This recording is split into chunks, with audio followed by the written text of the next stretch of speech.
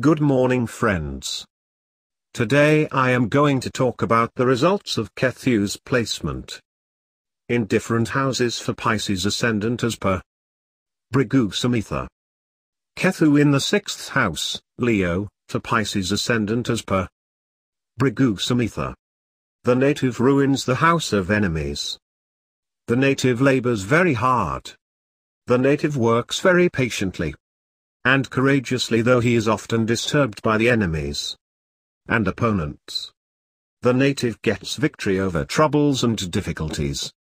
The native possesses secret strength. The native is selfish and obstinate. Thank you. Bye bye.